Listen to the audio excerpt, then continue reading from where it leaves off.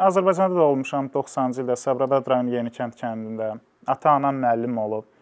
Uşaqlıq illəri çətin keçib, kasıblıqla keçib. Yəni o onsuz da Azərbaycanda o vaxt hamının vəziyyəti pis olub. 2007-ci ildə orta təhsilimi tamamladıqdan sonra Türkiyəyə üz tutdum. Orta Doğu Texniki Universitetində sənaye mühəndisliyi üzrə təhsil almışam. Magistratura təhsilim olub. Biri biri Finlandiyanın Vasa Universitetində, ikinci magistr təhsilim MIT Boston. Beləcə yəni 8 ilim universitet təhsili ilə keçib, bir bakalavr, 2 magistr.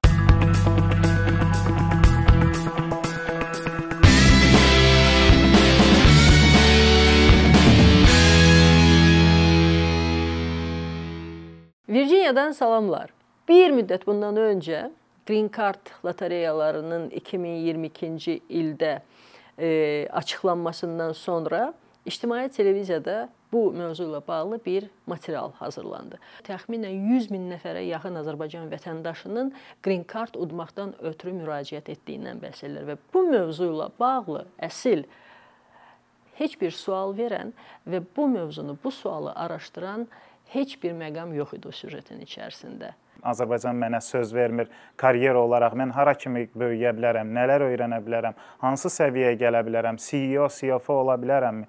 Yoxdur Azərbaycanda nə karyera olaraq, nə böyümək olaraq, nə şəxsi inkişaf olaraq gəlir məsələsi də, yəni bildiyiniz kimi problematikdir. Amerika yaxşıdır, Amerika dağılır, Amerika pisdir, burada həyat asandır, burada həyat çətindir, burada yaşamaq lazımdır və ya lazım deyil, araşdırılması gərəkən və cavabını gözləyən sual bu deyil. Olması gərəkən məsələ əslində 100 min nəfərə yaxın Azərbaycanlının yaşamaq üçün, sıfırdan başlamaq üçün o green card kimi əldə edilməsi çox çətin olan bir mərhələyə öz ümidlərini oraya daşımaqlarıdır. Beyin köçü məsələsi bu kifayət qədər realdır. Yəni bizim kimi ölkələr üçün əslində çox böyük problemdir. Bunu bəzi ölkələr başa düşüb. Hətta məsələn Avropa mənə EU Blue Card verir. EU Blue Card mənim kimi data scientist, müəyyən highly qualified, yəni yüksək şeyli e, tələb olan peşələrə yüksək maaş verilir. Yəni average-in 2 misli kimi, yəni minimumdur o green card, blue card üçün üzr istəyirəm və səni cəlb eləyir. Amerikaya gələnlər nə qazanırlar? Burada oxuyanlar nə qazanırlar? Hansı karyera və iş imkanları və ya hansı həyat şərtləri onları gözləyir? Bunu yaşayanlar və burada o nəticələri əldə edən insanlar daha yaxşı bilirlər və əslində o mövzu ilə bağlı daha yaxşı açıqlamalar da və doğru dəyərləndirmələr də eləyə bilərlər. Elə bizim bugünkü bu süjetin qəhrəmanı da onlardan biridir. MIT kimi universitetlər sıravi insan axtarmır. Onlar səndə qeyri-adi nə isə bir işıq axtarırlar. Bir ə, e, cəmiyyətə faydalı insan axtarırlar. Yəni bir çox universitetlər sənəd versən, hə, ə, e, qəbul balın yüksəkdir, ə, e, burdan yaxşı yığmısan, GPA-ın yüksəkdir, okey, gəl oxu. MIT belə deyil. MIT səni intervyu eləyir, sənə esseylər yazdırır ki, sənin burada oxumaqda məqsədin nədir? Sən cəmiyyətə, ölkənə nə kimi fayda ver vermək istəyirsən? Sənin idealların nələrdir? Bax bu kimi şeylərə fikir verirlər.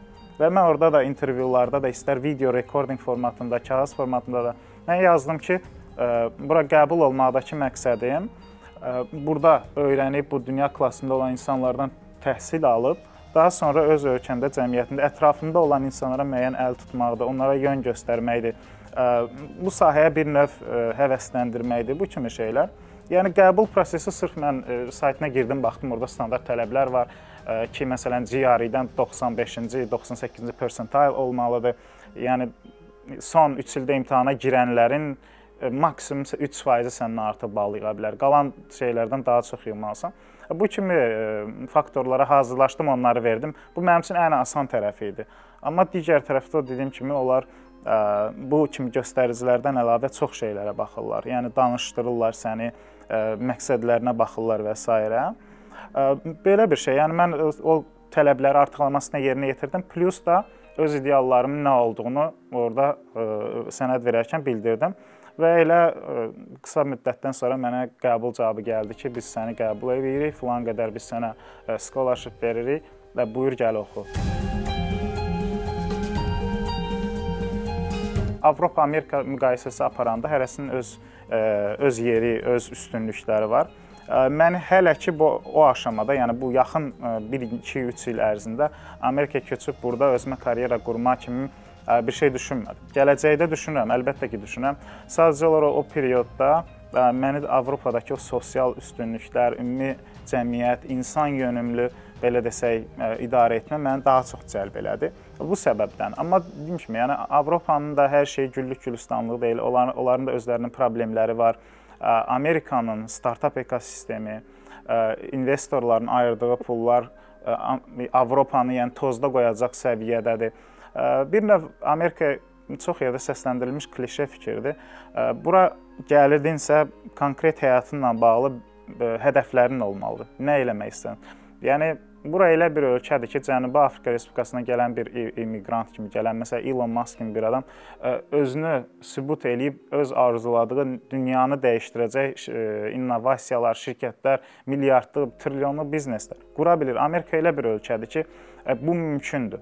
Məsələn, dünyanın başqa yerlərində belə bir şey mümkün deyil. Yəni sırf Amerikada qalmamaq məsələsi məndə o mərhələdə sadəcə olaraq düşünmədim, amma təbii ki, gələcək illərdə burada da burada da düşünürəm. Yəni Seattle-dan Amazonun baş ofisindən olsun, başqa şirkətlərdən olsun təklif olub. Orda çox yüksək kompensasiya miqdarları da, yəni təklif eləyirlər. Cəlb eləməyə çalışırlar, yəni bütün dünyanın hər tərəfindən olan insanlar. Lakin o mühitin də yenə dediyim kimi öz qaydası, öz qanunları, öz aurası var. Onu da ona da hazır olmaq lazımdır. Yəni birdən-birə gəlib düşsən itə bilərsən o mühitdə. Amazon kimi şirkət çox nəhəngdir. Amazonun onlarla fərqli biznesi, diviziyaları yüzlərlə fərqli legal entity-lər formasında fəaliyyət göstərir. Hər birinin özünün ayrı ayrı belə desək qaydası, qanunu var. Lakin mən şəxsən özüm bu şirkətdən razıyam. Onun təklif elədiyi üstünlüklərdən razıyam. Flexible işləmə imkanından razıyam. Və dediyim kimi, məni öz istəyimlə olub ki, məsələn, nəyisə çatdırmalıyam və s. olub ki, məsələn, axşam açıb kompüteri işləmişəm. Lakin mən deməzdim ki, məni məcbur eləyib və yaxud da bu elə vəziyyətə qoyublar ki, mən 7-24 işləyim.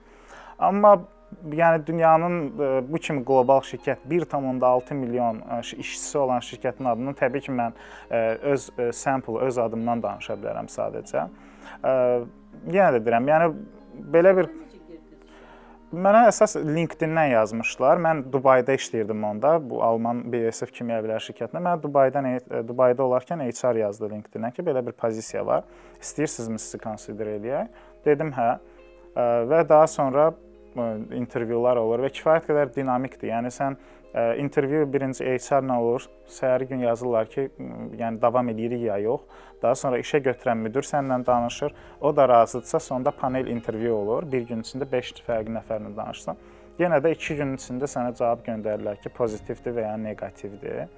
Onların Amazonun işə götürmə kültürü tamamilə fərqlidir böyük şirkətlərdən. Özünün leadership prinsipləri var, leadership principles və bütün intervyular bunların ətrafında cərəyan edir. Onlar standart suallardır. İnternetdə də var çoxu.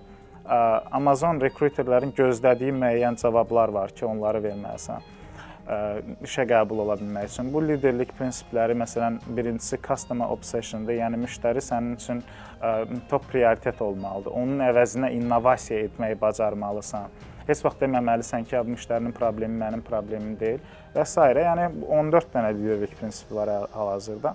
Ümumi intervyu prosesi bunlarla əlaqədar olur. Təbii ki, müəyyən texniki suallar da verirlər. Bəzi hallarda live coding, yəni sənə ekran göndərirlər, orada kod yazmalısan sənə suala cavab olaraq. Belə şeylər də olur. Məsələn, Amazon Türkiyədə böyüməyə çalışır. Anbarlar açır, orada da böyük yatırımlar eləyir. Oradakı potensialı bir növ hətta baxmayaraq ki, bu gün lira ölüb, gələcəyə baxanda 10 il, 15 il sonrasına baxanda müəyyən potensial görürlər. Hüquqi baza var, sən biznes görə bilirsən, normal pulunu qazana bilirsən və s. Ölkə əhalisi 80-90 milyondur və bunun hətta yəni indiki səviyyədə qalsa lira belə ciddi gəlir əldə etmək mümkündür. Azərbaycanın birincisi kiçik ölkədir. 10 milyon əhali, qonşularımızla münasibətlərimiz bəllidir. Yəni regional hub olmaq imkanımız çox çətindir. Türkiyədən məsələn yaxın yerlərə deliver eləmək mümkündür. Azərbaycanda bu da çətindir. Yəni bütün qonşularla problemli. İran embarqodadır, Ermənistanla məlumdur. Rusiya bazarına onsuz da girmək düşünmür. Yəni bu bildiyiniz son hadisələrdən sonra. Yəni Azərbaycanda genişləməmək məsələsi budur. Səbəbləri. Marketin, bazarın kiçik olması, alıcılıq qabiliyyətinin aşağı olması, hüquqi bazanın olmaması. Sabah sənin biri gəldi, oğurladı anbarını. Sən hüquqi baza varmı? Sən getdin öz pulunu geri ala bildin. Ümumi sistemin işləyişi, sabah sənin dövlət idarəsinə işin düşdü. Yəni bu adamlar süründürülməyi istəmirlər. Yəni sən biznes görürsən, trilyonluq biznesin var. Azərbaycanda tutaq ki, anbar açırsan, insanlara iş vermək istəyirsən və s. və ona görə də bu kimi böyük şirkətlər hansı ölkələrdə presence varlıq olmaq istədiklərini çox ciddi düşünürlər çox faktorları, iqtisadi faktorlar vacibdir, amma eyni ilə də o dediyim kimi e, hüquqi baza, texniki baza, insan resursu, ölkədəki alıcılıq qabiliyyəti, yəni faktorlar çoxdur. Hər şey birinci xəyal qurmaqdan başlayır. Birincisi o qədər adam var ki, o potensial ola-ola istifadə eləmir. Yəni böyük əksəriyyət ümumiyyətlə e, onu xəyal eləmir ki, mən tutaq ki, MIT-də oxuyum. Bu təbii ki, normaldır. Hər kəs e, Ivy League universitetində oxuyacaq, hər kəs Amazonda işləyəcək, belə bir şey yoxdur. İnsanlar fərqlidir, hər kəsin fərqli seçimi var. Kimi gedib nə bilim xizək sürmək istəyir və s. E, bu faktorlar onsuz da var. Yox əgər sən həqiqətən arzun varsa belə bir şey, birinci içindən keçməlidir gözünün qabağında o canlanmalıdır ki, özünü tutaq ki, 10 il sonra görürəm hardasa. Birinci mərhələ budur, arzu eləmək məsələsi. Okay, hal-hazırda sənin ə, e, fikrin var, arzun var. İndi gəlirik reallaşdırma məsələsinə. Və hal-hazırda dünyada o, nə qədər çox bunu marketinq eləsələr də uğur birdən-birə bir sıtmada baş vermir və bütün bu böyük işlərin, böyük biznesmenlərin arxasında azı bir 10 il, 15 il planlaşdırma, fikirləşmə, düşünmə və əməli addımlar. Mən bu uzun müddət xəyalla başladı. Daha sonra mən əməli olaraq başladım. Tutaq ki 2012-də və s. yəni mən qəbul oldum 3 il sonra. 3 il ərzində mən sırf onların o tələblərini yerinə yetirmə, onlayn kurslar, özümü inkişaf, araşdırma və s. bu əməli hissəsidir ki, mən çalışdım da, yəni gecə-gündüz imtahanlara hazırlaşdım, getdim, verdim. Bu əməli hissədə də ə, yəni bilmək lazımdır ki, yüksək yerlərə rəqabət çox çox güclüdür. Ə, böyük şirkətə vakansiya açılır, 1000 dəfə sənəd verir dünyanın hər bir yerindən. Ə, top universitetlərdə də vəziyyət aşağı-yuxarı eynidir. Onu düşünmək lazımdır ki, tutaq ki, əgər sən MIT, Harvardda sənəd verirsənsə, özünü sən orada seçim edən professorun yerinə qoy. Nəyə görə məni seçsinlər? Bax, düşün məsələn, vakansiya açılır, 1000 nəfər sənəd verir. Açırsan ki, hamı ortabab universiteti qutarıb, hamının tutaq ki, 5 il təcrübəsi var. Sən fərqləndirmək üçün bir şey axtarsan da, yəni mən nəyə görə bunu götürüm? Sən gərək özünü qarşındakının yerinə qoyasan ki, məni nəyə görə götürsən? Mən nə ilə fərqlənirəm bu böyük crowddan, topluluqdan nə ilə fərqlənirəm? Bunun üzərində düşünməlisən. Özünün ona cavabın olmalıdır ki, Yaxşı, mənim tutaq ki, olimpiyadada qızıl medalım yoxdur. Nə bilim, sosial bir aktivitəm yoxdur. Şeyim yoxdur. Yəni onsuz deyirəm də, yəni sənəd verənlər aşağı-yuxarı 95% hamı ortabax universitet, ortabax GPA, e, normal şey, nə bilim, essay yazırlar ki, career aspiration budur, yazırlar. Nəyə görə götürsünlər? Bax bunun üzərində ciddi düşünmək və özünə özünə cavab tapa bilsən ki, mən nəyə görə fərqliyəm ora sənəd verən verənlərdən, sənin üçün çox asan olacaq. Və bunu e, öz içində düşünməyə başladım ki, e, məni digərlərinə fərqli qılan nədir? Təbii ki, hər insan fərqlidir, hər şəxsiyyət fərqlidir və s. Mənim ideallarım, o e, uşaqkən yaşadığım şeylər və gələcəyi dəyişmə arzularım və bu istiqamətdə. Eləcə də böyük şirkətlərdə işləmək üçün indi çox vakansiya. Əvvəllər nadir idi ki, məsələn, vakansiya açılır ABŞ-da, orada qoyurlar ki, dünyanın harasını istəsən apply elə, harasını viza dəstəyi veririk. Bir neçə il əvvələ qədər belə şey çox nadir idi. İndi o qədər məsələn Amerika, Avropa Birliyində tələbat artıb ki, vakansiyalara bir çox yerlərdə girirsən Amazonun rekrutment səhifəsinə, orada ə, yazılır. Məsələn, 4 kateqoriya var da, ya internal transfer olur, ya kənardan gəlmə olur. Ə, kənardan gəlmələr də ikiyə bölünür. Yəni məsələn, vakansiya Amerikadadırsa, ancaq amerikanlılar apply eləyər eləyə bilər, yoxsa hamı apply eləyə bilər. İndi bu vakansiyaların sayı çoxalıb. Yəni sən özünü inkişaf etdirsən, müəyyən təcrübə qazansan, portfolio yığsan, belə bir fürsət var. Apply eləyirsən, orada da müəyyən faktorlara nəzərə nəzərə almaq lazımdır ki, məsələn, bu sənəd vermə məsələsi artıq böyük ölçüdə avtomatikləşdirib, orada bot var, yəni bir alqoritmdir. O sənin CV-ni oxuyur, sənin haqqında bir paraqraf çıxardır ki, bu adam 5 il təcrübəsi var, 1 il müdir olub, filan-filan sahələrdə kompetensiyaları var. Onu keçirdir filtrdən. Bizə lazımdırmı? Bu yox, getdi. Burada problem ondan ibarət ki, bu alqoritmlər mükəmməl deyil. Sən başqa şey demək istəmirsən, o başqa şey başa düşür, düşə bilir. Mən məsələn belə bir yəni komik bir şey deyim. Mən CV-mdə proqramlaşdırma sözü çox təkrarlanırdı. Mən hər dəfə programming, programming yazmam, yazmamaq üçün PR yazıb nöqtə qoyurdum. Və bu CV verdim yoxlanışa. Mənim haqqımda nə çıxar? PR, public relations insanı. Dedilər ki, bu public relations insanıdır. Düzdür, ədalətlidirmi, ədalətsizdirmi, amma reallıq budur. Onu nəzərə almaq lazımdır. Ya bu alqoritmlərin işləmə prinsiplərini və onu e, araşdırmasını, yoxsa o qədər super kandidatlar var ki, sənəd verir rejection, ya avtomatik o bot rejection göndərir, ya yerini oxuya bilmir, ya fərqli summary çıxardır mənim dediyim kimi. Yəni PR insanı eləmişdi. Yəni o bütün prosesləri bir-bir ustalıqla idarə etmək lazımdır, keçmək lazımdır. Lakin yəni uğur elə bir şey deyil ki, bir iksir yoxdur ki, hamıya kimə gəlir, verəsən içə və ona çata. Hər kəs öz yolunu özü yazır. Və mən bir yerdən başladım, o idarəyə gedirdim, bu dövlət idarəsinə, o şirkətə hərədən bir şey öyrənirsən. O başqa bir qapı açır, ora gedirsən, orada fərqli adamlar görürsən və bu hər insan üçün vahid, yəni unik bir şeydir və hər kəs öz həyatını, öz karyerasını şey özü yazmalıdır bu formada. Yəni əsas məsləhətlərim budur. Hədəfini qoy, birinci onlara uyğun hazırlaş, orada yazılan tələbləri minimumu qarşıla və düşün ki, səni nə fərqləndirəcək, onun üzərində düşün və yüksək ideallar qurmaq şərtdir. Başqa bayaq da bir sual verdiniz, onu mən əslində keçdim cavabsız qoydum ki, dediniz bu MIT oxuyandan sonra, Amazon oxuyandan sonra o dediyiniz ideallara nə qədər çata bilirsiniz? Belə bir şey var. Mən könüllü formatda edirəm. Azərbaycan rayonlarına gedirəm. Biləsuvara gedirəm, Sabirabada, Bakıda, fərqli-fərqli könüllü formatda gənclərlə görüşdə çıxış edirəm. Yəni mən kəndimizə gedəndə oradakı insanlar üçün bir növ kiminsə burdan çıxmağı, bu kənd məktəbində oxuyub oradan Amerikaya, MIT-yə, Amazona qəbul o insanlar üçün uzaq və əlçatmaz görünürsə, artıq onlar düşünürlər ki, hə belə bir şey mümkündür. Və bu bir baryerin qırılmasıdır o insanlar üçün. Bununla yəni çalışıram insanlara nəinki ürəkdirək, ürəkdirək, yəni motivasiya o heç indi o sözün də şeyi çıxıb, yəni ucuzlaşdırıblar motivasiya. Yox, sadəcə bir nümunə kimi mümkündür. Bu mümkündür. Əgər istəyirsənsə, səni və düşünürsən ki, sənin potensialın var, hər bir şey mümkündür. Və dediyim kimi, az sırf Azərbaycanla bağlı olan budur. Texniki universitetdə mən dərs deyirəm. Azərbaycanda supply chain management, təsisat zəncirinin idarə olunması üzrə müəllimlərin yetişdirilməsinə müəyyən orada dərslər verirəm. Başqa onlayn formatda ADA-da Texniki Universiteti qeyd elədim. Bir çox yerlərdə dərs deyirəm. Yəni mənim əlimdən gələn hal-hazırda budur. Məsələn, kənddə kurs açırıq atamla ikimiz. E, e, oradakı şagirdlərə, tələbələrə proqramlaşdırma öyrətmək üçün ki, bu insanlar nəsə öyrənsinlər.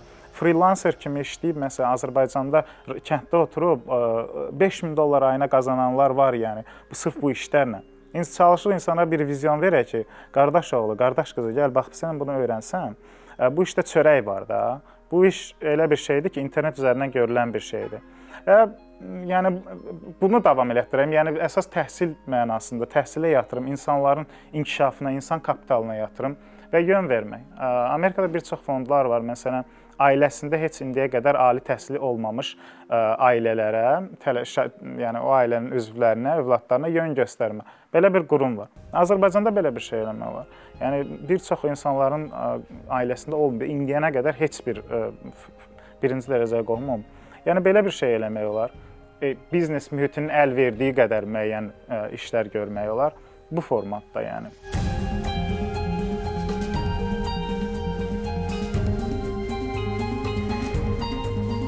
Ölkədə qayda qanun olduqdan sonra, ölkədə hər şey, bütün sistem gözəl işlədikdən sonra mən ə, e, Avropada qazandığım yarısına, üçdə birinə hətta razı olaram Azərbaycanda öz ölkəmdə işləməyə.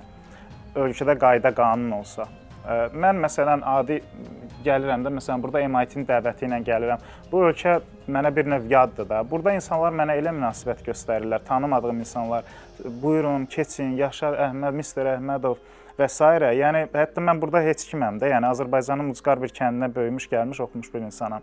Mən öz ölkəmə gedirəm, məsələn, ildə bir dəfə, nə bilim, komandirovkadan gələndə düşürəm, yolda polis saxlayır, bir küçə uşağı vidində danışır, mənlə danışır. Hə, düş gəl bura, nə bilim şeylə. Adama təsir eləyir. Ümumi cəmiyyətin şeyi e, quruluşu, qayışı. Yəni cərimə məsələn mən qayda pozmuşam, yaz göndər evimə də məni nəyə saxlayırsan və danışıq tonu əsasən. Bu tək yəni yol polisinin bir nümunə kimi verim. Dövlət idarələri olsun və s. olsun.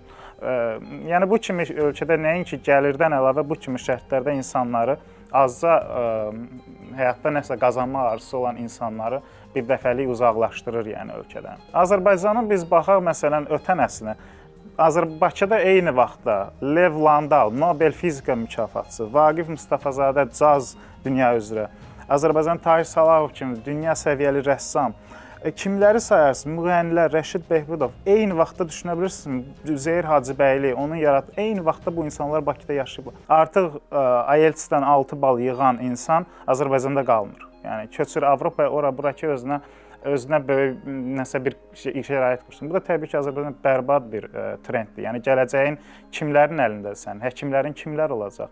Bu da məni qayğılandırır, çox qayğılandırır.